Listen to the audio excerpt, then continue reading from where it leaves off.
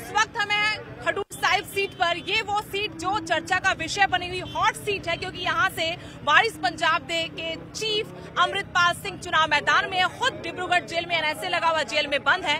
लेकिन वो चुनाव प्रचार नहीं कर पाए लेकिन उनके पिता चुनाव प्रचार कर रहे हैं बाकी समर्थक चुनाव प्रचार कर रहे हैं। उनके पिता से बात करने की कोशिश करेंगे।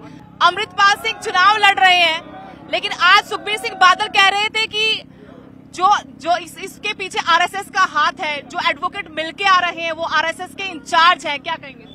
सुखबीर बादल का आरएसएस से खुद कितने साल तक कितने सालों तक संबंध रहा है उसको तो ऐसी बात करने के कुछ खुद सोचना चाहिए कि बीजेपी के साथ कितने सालों का उनका कोऑपरेशन चलता रहा है।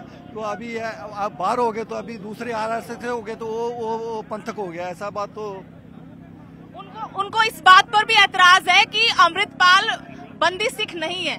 उनको एतराज़ है लेकिन लोगों को इतराज नहीं है। उनके इतराज से कोई फ़र्क नहीं पड़ता ये, ये पब्लिक को कोई इतराज नहीं है। पूरा देश ये जानना चाहता है कि अमृतपाल इस लोकसभा सीट से क्यों चुनाव लड़ रहे क्यों चुनाव लड़ना चाहते क्या मुद्दा क्या है उनका? ये, ये लोगों का फैसला है जी। लोगों ने उनको चुनाव लड़ने के लिए बो, बोला है उन्होंने मान लिया बात लोग लोग चुनाव लड़ रहे हैं। आप लोगों का कोई मुद्दा नहीं है आप किस बात पर चुनाव लड़ रहे हैं? आप लोगों को आपको लोगों का समर्थन मिल रहा है। तो ये लोग किस किस मुद्दे पर आपसे जुड़े हुए हैं? क्या मुद्दा वो हम देश को बताना चाहते हैं क्या मुद्दा है अमृतपाल का एकदम से हाईलाइट नशिया का बे ड्रग का मुद्दा है वो जो उनके साथ बेइंसाफी हुई है लोगों के मन में उसका रोष है जी खोए गए साडे साडा पंजाबी वो इलाके खोए गए ने ਸਾਨੂੰ ਕਿਹੜਾ ਵੀ ਇਨਸਾਫ ਨਹੀਂ ਮਿਲਿਆ 84 ਦੇ ਵਿੱਚ ਸਾਡਾ ਕਤਲੇਆਮ ਹੋਇਆ ਸਾਨੂੰ ਇਨਸਾਫ ਨਹੀਂ ਇਨਸਾਫ ਨਹੀਂ ਮਿਲਿਆ ਆਪਣੇ 1 ਜੂਨ ਨੂੰ ਜਿਹੜਾ ਵਾ ਦਰਬਾਰ ਸਾਹਿਬ ਤੇ ਹਮਲਾ ਹੋਇਆ ਉਹਦਾ ਸਾਨੂੰ ਇਨਸਾਫ ਨਹੀਂ ਮਿਲਿਆ एक एक विरोधी आरोप लगा रहे क्योंकि मैं लगातार लोगों के बीच जा रही हूँ राजनेताओं से मिल रहे हैं। वो कह रहे हैं कि अगर अमृतपाल जीत जाते कल ही रवनीत बिट्टू ने कहा मेरे साथ बातचीत में कि अगर अमृतपाल जीत जाते हैं तो बहुत बड़ा खतरा है पंजाब के लिए। पंजाब को कोई खतरा नहीं खतरा अभी खतरा है। रोज हज़ारों नौजवान मर रहे हैं नशे से।